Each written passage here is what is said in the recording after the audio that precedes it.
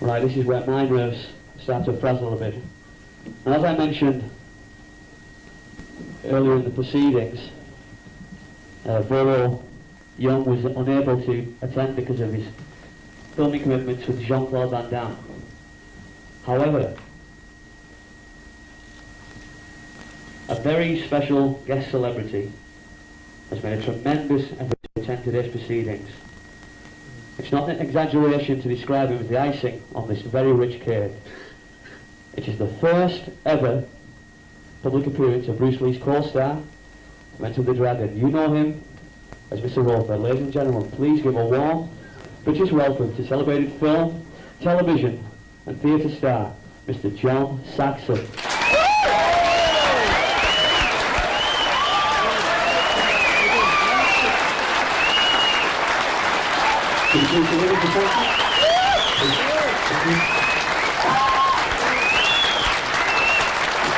great to meet you, sir. Thank you very much. Well, would you like to take yourself up with it? Are you, are you happy? Did we lie? We never lied. Well, first, Mr. Sachs, I'd like you to begin by welcoming you to the United Kingdom. Is this your first uh, ever visit to England? No, no, I was here, but quite a long time ago, so it seems like I'm really becoming acquainted with Great Britain all over again. I'm sorry I don't have really more time to uh, spend. I think London is a, an exciting city, so I'll probably come back sometime soon. We'll look forward to that. Um, tell me, sir, how did you become a professional actor and what uh, early movies or TV shows did you make your debut? You know, if you don't mind, I, I'd like to just, it may be a little late in the program to uh, do this, but I, since it's about Bruce Lee, I'd really first like to take just a moment, um, really of quiet and silence to kind of honor his birthday um, and recollect my own thoughts about the experience of having worked if you don't mind, just for a, brief time, I'd like to be quiet.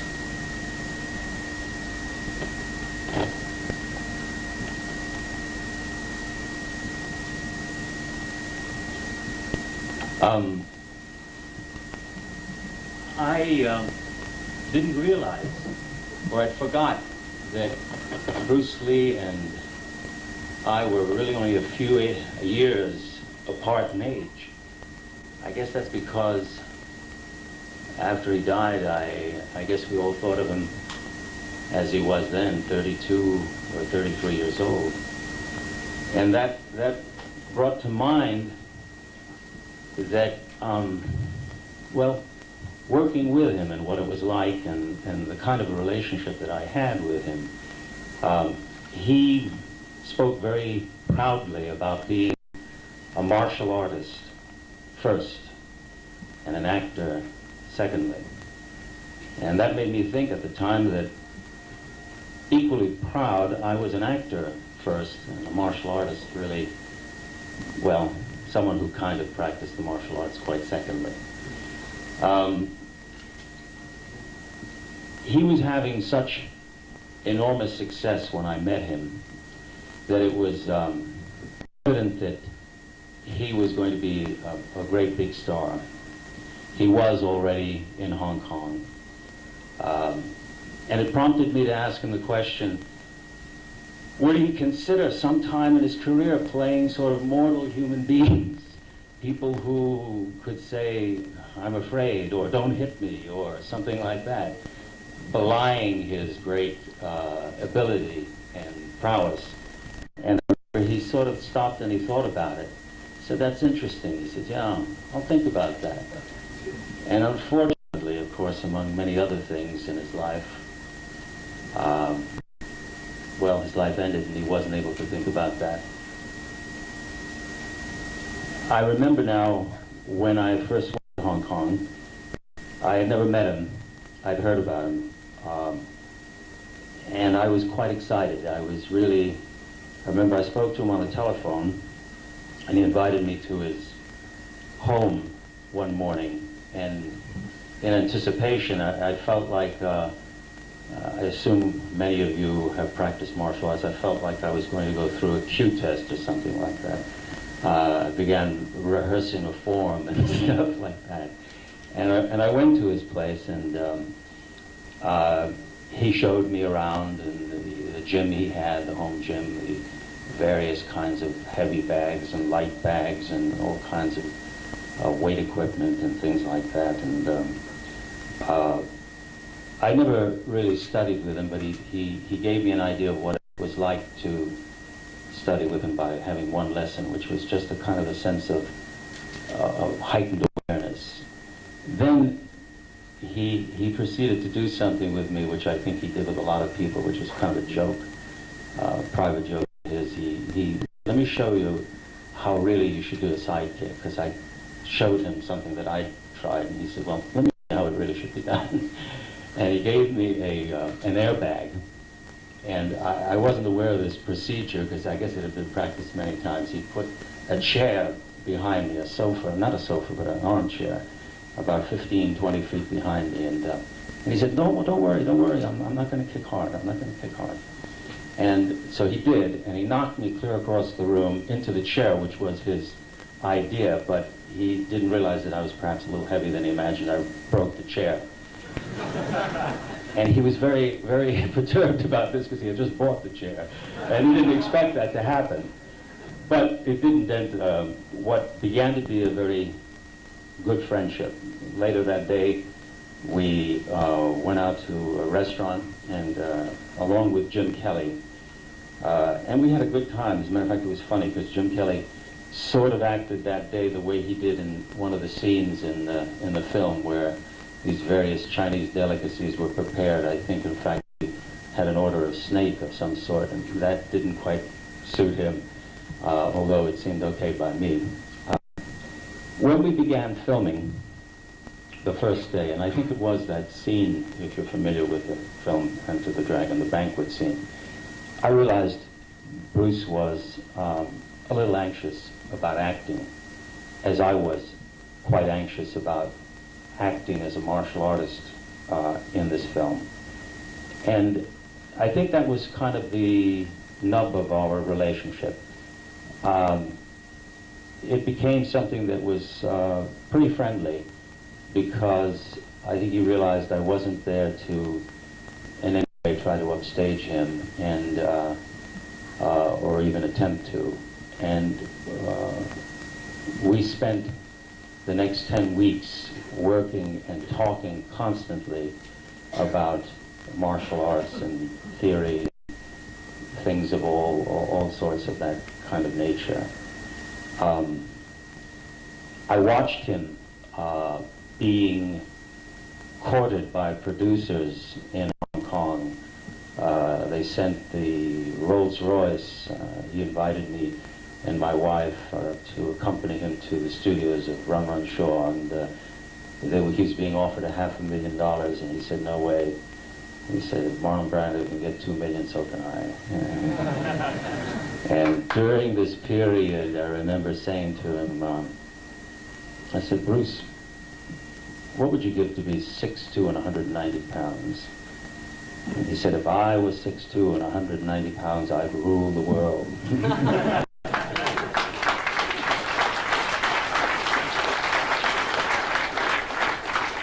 Um, obviously, um, he died, and I don't know any more about why or how he died than anybody else, but it's also quite obvious that he uh, has lived uh, with uh, many, many people the whole world around. In fact, I have the constant and frequent uh, experience. One example of which was one day I was in the lobby of a hotel in Los Angeles and I was on the telephone calling somebody and I could see through the corner of my eye a fellow walking across the lobby seeing me. He was a brother and he made a big kind of gesture of exclamation. And he walked over to me and I could sense what was going to happen. He said, man, and I was still on the telephone calling, and he said, man, He said, I understand Bruce is alive. I said, no, I'm afraid he's dead. He says, no, man. He says, he, he's alive. I got it on good sources. He's alive. He's in a cave in Hong Kong. And he's waiting for the right time to come out. I said, no, I'm afraid he's dead. He said, oh, no, man, are you sure? He said, I got it on good sources. He's alive and he's in a cave in Hong Kong. And he's just waiting for the right time to come out. I said, listen, his wife thinks he's dead. He says, man, what do women know?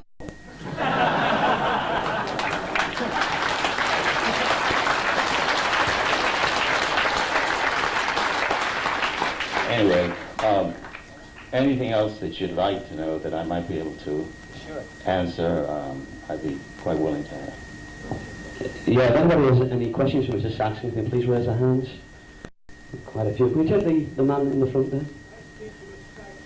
Pleasure. In that film, Enter the Dragon, this is the part where Hans said how the participation for education, how the youth is getting on those days. How, how, he said, what did he say? How- Edification, yes, I think I remember that. Yeah, You kind of grinned a bit, then you left it to it. How did you feel yeah. uh, Bruce Stevens would be taking on? Well, I, I, I'm glad that never quite came about.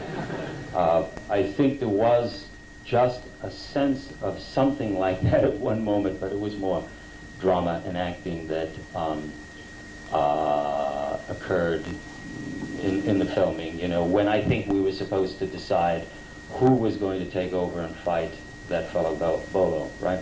There was some sense of a confrontation of wills or something like that. Um, Bruce was extraordinarily uh, strong and adept, and he had, I don't know how he had done it, but his forearm, I think he told me he had done it by years of sort of hitting them against tree trunks or something like that. Uh, when he hit you, uh, it was something close to paralysis in, in the muscle. I mean, he did once just give me a little slight kick in the um, thigh, and uh, he was just so hardened. He trained, I think, every day. It was my feeling and advice to him that he could lay off a little bit and relax. Uh, anyway. Anyone else? Any of those confrontations that we've read so much about on the set between some, uh, some younger kids? Um, there was one incident that was um, that occurred one day. Um, you say kid, yes, it was. It was a young boy who, who was saying something to him. He was he was seated on the perch of a wall, and it, he was speaking in either Cantonese or Mandarin. Uh, so I didn't know precisely what he was saying, but the tone seemed to be challenging. Uh, to what degree, I don't know. Uh, uh, whether he was insulting or what, but but it obviously was something that Bruce felt he had to address, and he very quickly did. And the kid had a nosebleed and, and begged off, and um, that was about the only thing I saw of that in Asia. Anyone else? The man in there? The sense of pride is man, something that having that been done. Yes, as a matter of fact, I, I, I do feel something like that. Um, when I met him, he was on the verge of something happening to him, which, which was obviously uh, extraordinary. I mean, the recognition uh, factor, the, the explosion of success. When I first met him, uh, the day, uh, the whole day, uh, it seemed to me that he wasn't quite touching the ground.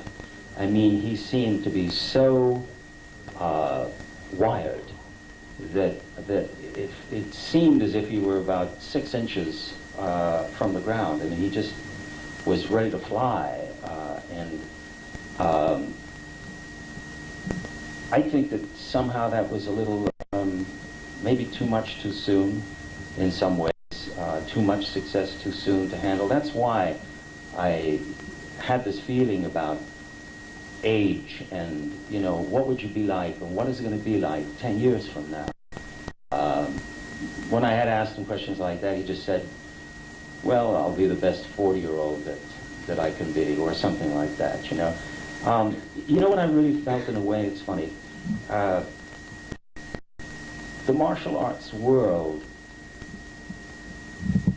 has become so linked with the cinema that, you know, men who are boxers, wrestlers, and whatever, they train for an event, a match, and then frequently after that particular match, they relax for a while.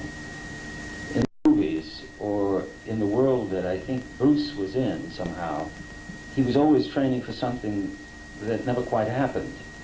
And I have a feeling that that kind of was, I don't know, kind of wearing on a way, in a way on him. And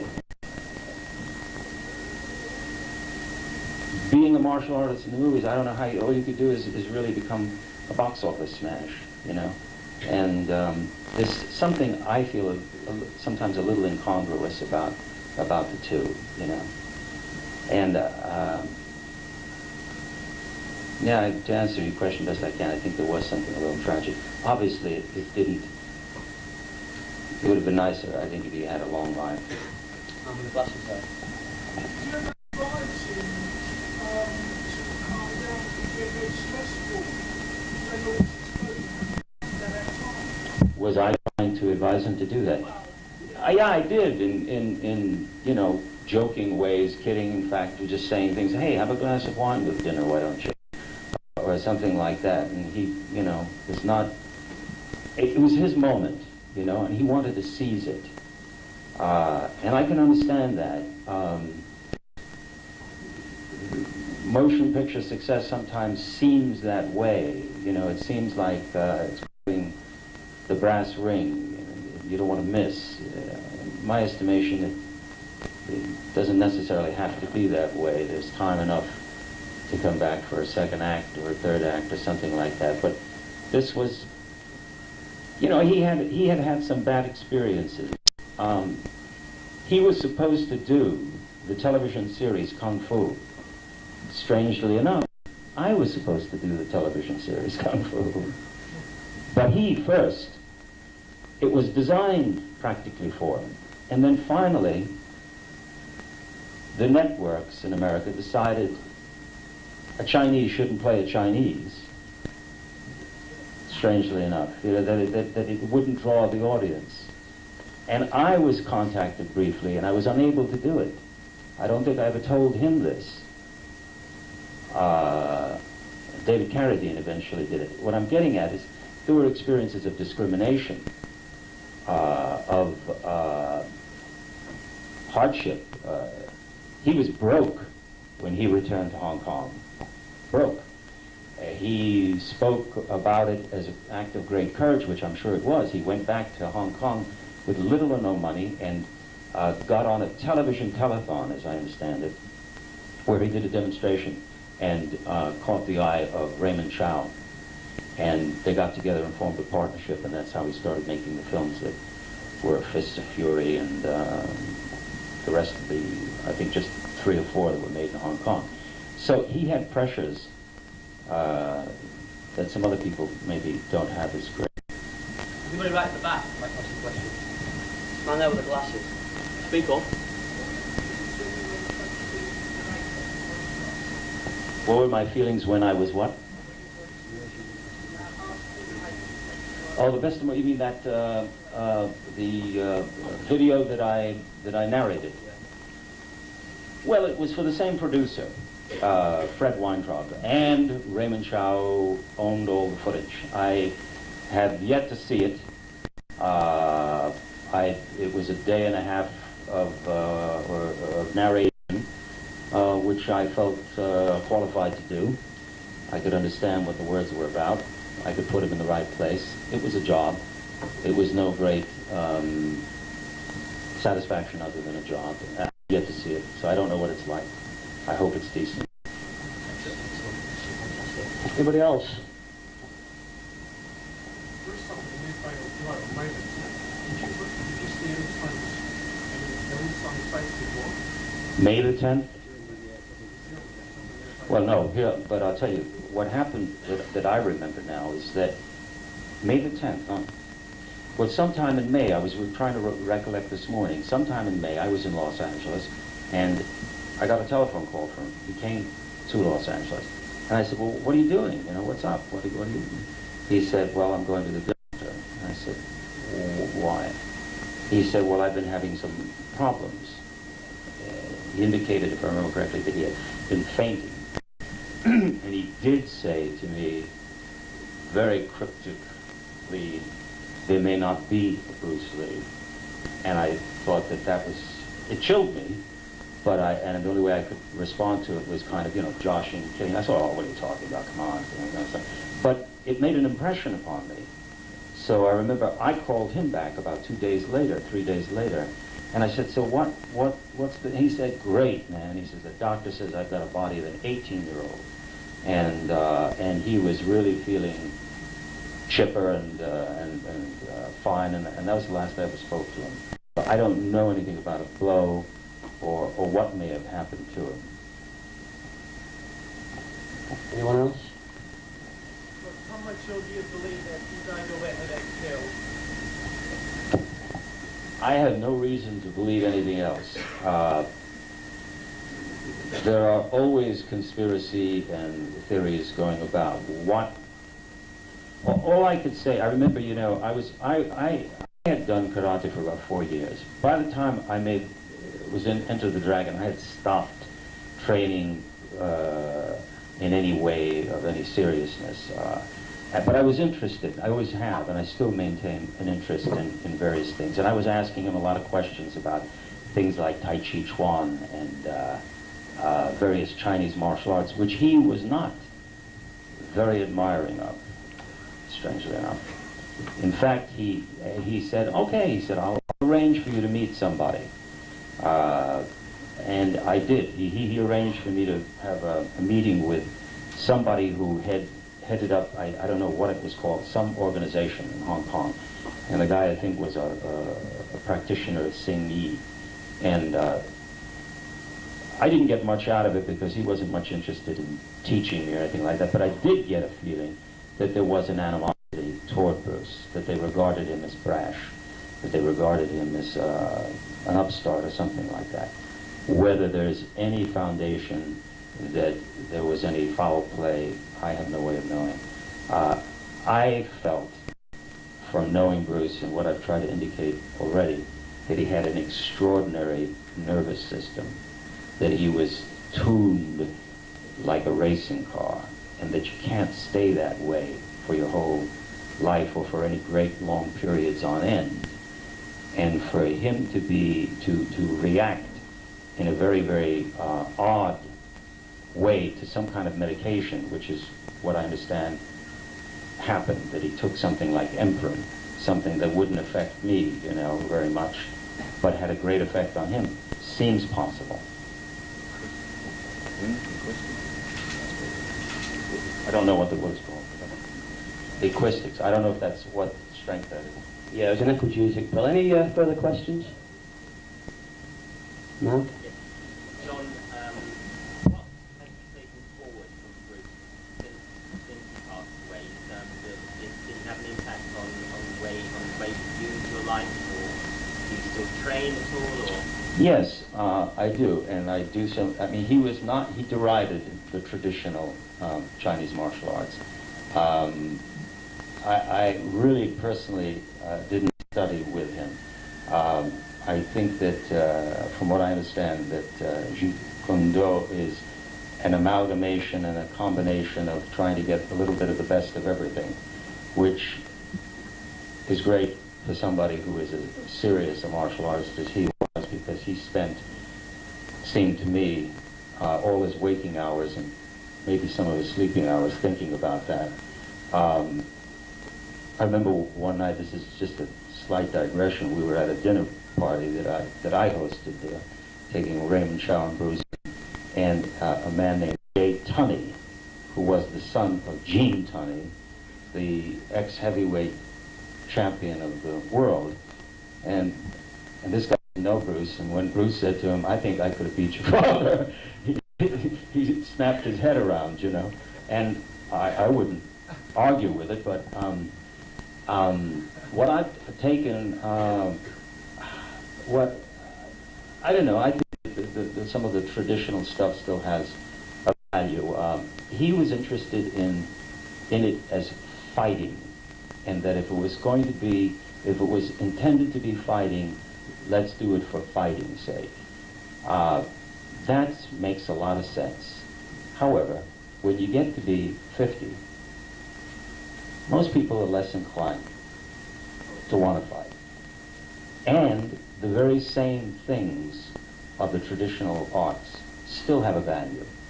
To me, I sort of started out having an interest in martial arts as a, a hobby of physical education, well-being, a way to keep somewhat fit. And I, that's what my interest is now. I wonder if Bruce, had he lived to be 50, what he would have done about that.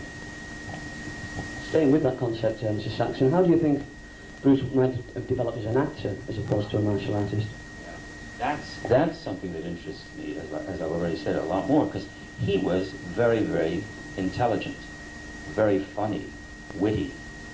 He was, he was programming himself and the image.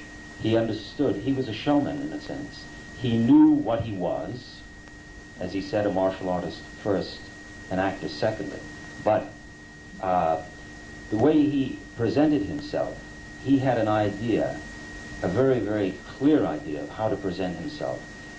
How that would have developed is, as I already said at the beginning, something that would have interested me a great deal.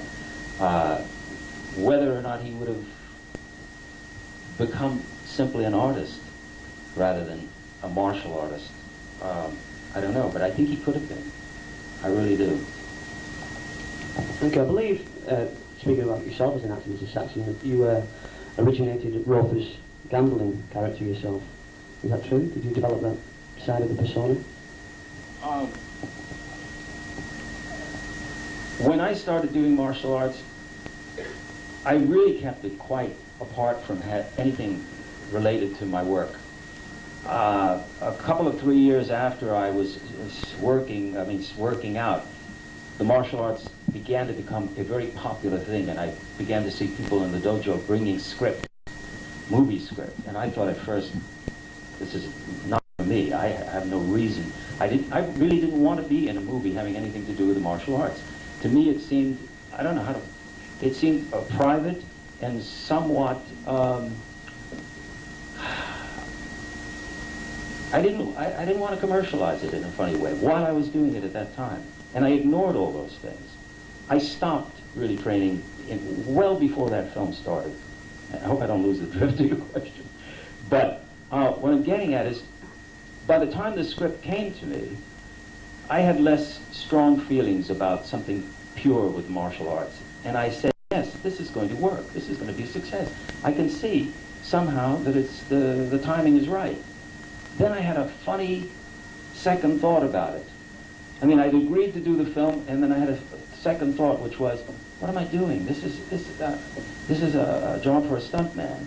And I, and I almost decided not to do it. And I'm glad I didn't, that I did do it because, for one thing, I wouldn't be here. Um, let's see, I think I have drifted away from your question, which was? I- I've heard uh, a story that Oh, so the, the, the script, the reason I didn't want to do it was that the script was about that thin. I mean, it was like hardly a story. And I told, I told uh, the producers one day, I called them and I said, you know what? I don't want to do it. And there was the longest silence. And they said, can we talk about it? I said, not really. I, I'm sincere. I really don't want to do it. And they said, can we talk about it? I said, no, I, I really don't need to be convinced because I just don't want to do it. I, I just, why? Well, I don't, you know, I think it's not enough of an acting role. Let's talk about it. All right, so I did.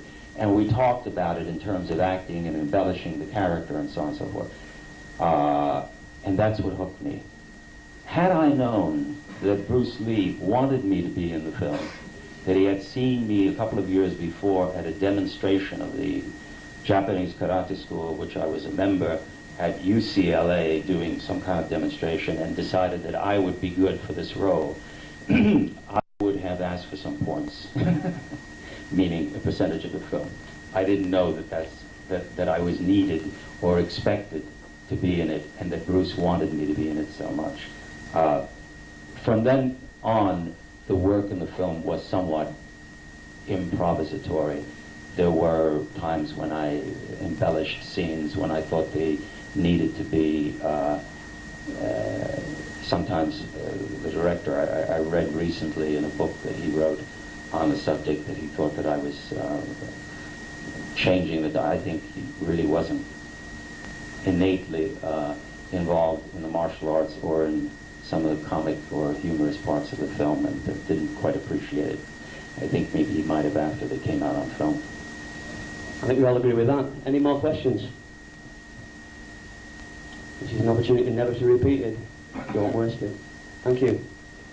Yeah, if you had the chance to film with him again, uh, if he hadn't have died, would you have liked to have done that? Oh yes, of course. Yeah, I, uh, you know, there was another, there was a, a script that he'd written that became, I think it was called, uh, it, it, he I think called it something flute, the silent flute. Silent Flute, Yeah, and it became a film called Ring of Iron or something. Is that right?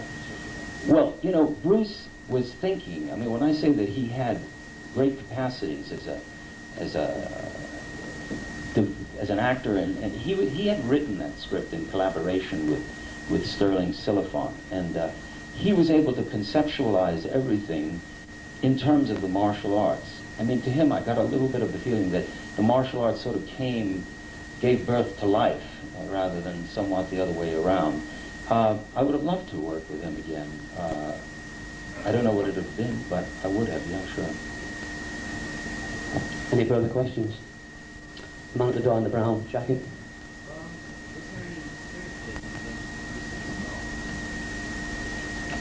I think what, what, what he regarded as spiritual was being uh, the essence of, of the things that a lot of people have regarded or as, as implicit in, in the, the martial arts. Something like that, that Zen thing about the stillness and the absolute awareness, you know, of being, of not, of not kind of falling into patterns, anybody's pattern, uh, of being somehow kind of true to the moment. Uh, and I think that is spiritual.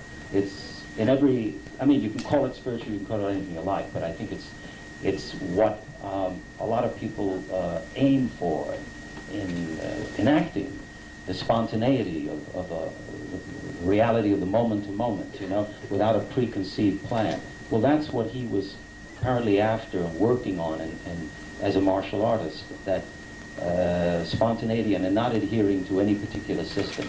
He used to say, don't show me your Japanese way of doing it.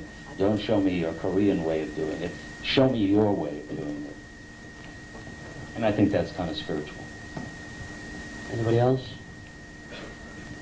Do you have a memory in your mind of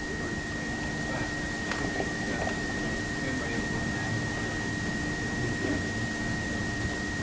Well, I think, you know, I've, I've mentioned several of them. Um, I just, I guess his laugh. he, he was funny, he was very, very energetic, he was always laughing. Um, uh, and, and when he was cross, one could tell that too quite quickly. Um, I have a warm recollection of him uh, in general. Any further questions? The man in the serving there.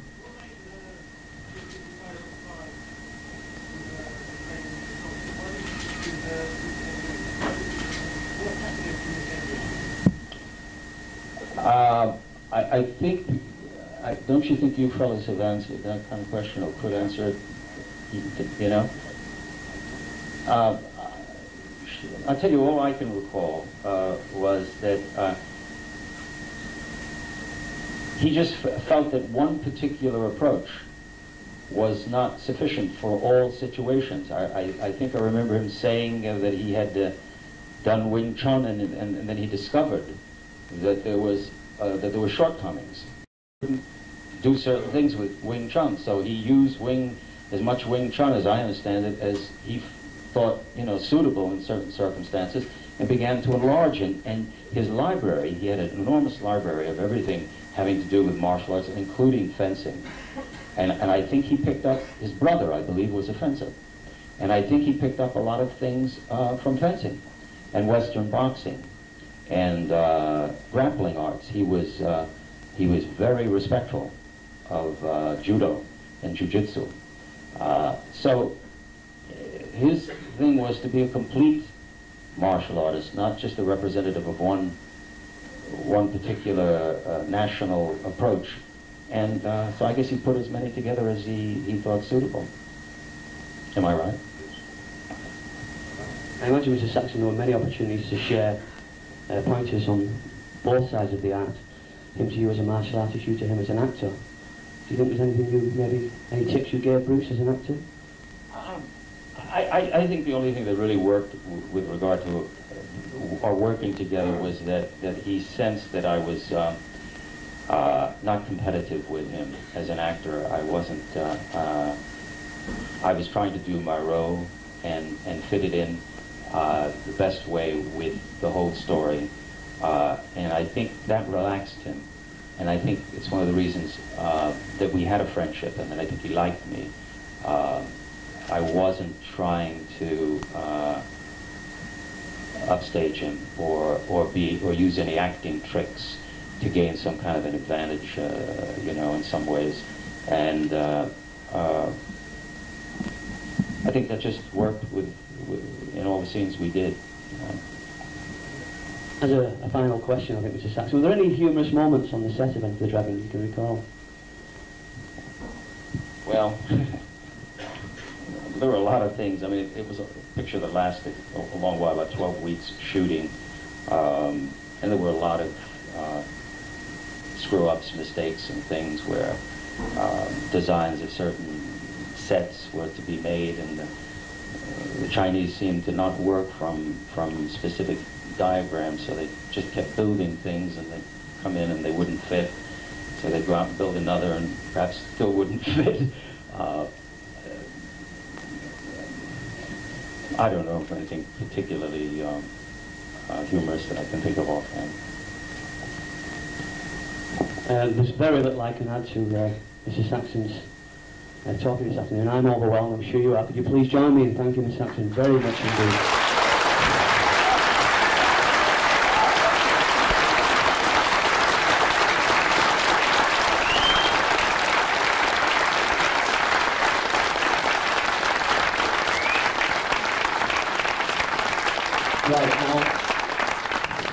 I'm sure you'll all respect the, the privacy of the three celebrities here, but they have agreed to sign autographs rather than having a mad melee, a rush, you know, everybody getting upset, and we will sign autographs for everybody who wants them. Now, in the case of Mr. Baker, there is an exceptionally rare print, colour print, from the uh, trailer for Enter the Dragon. Sorry, Enter the Dragon. This is Will Johnson said Enter the Dragon? For Fist of Fury. And he's uh, willing to sign it for everybody who wants it. I think Chris, Alexis and the guys have, have it on sale at the back. In the case of Mr Saxon, you've, you've all bought memorabilia. There's bound some pictures in there from Enter the Dragon. He'll sign them for you. In the case of Mr Williams, he'll sign any pieces you, you have with you. So we'd like to give them a break. We'd like to let them have 10 minutes themselves. And then we'll now show you uh, some rare footage of Bruce Lee. I guarantee it's going to blow your mind. So if you can all remain in the auditorium and allow the celebrities to leave in peace, please. Can you all remain in the auditorium for 10 minutes to allow the celebrities to leave in peace? And the footage will now begin in about one minute's time.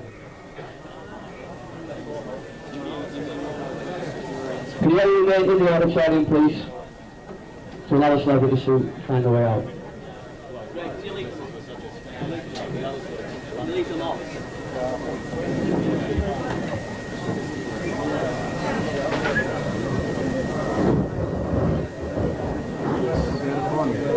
Well,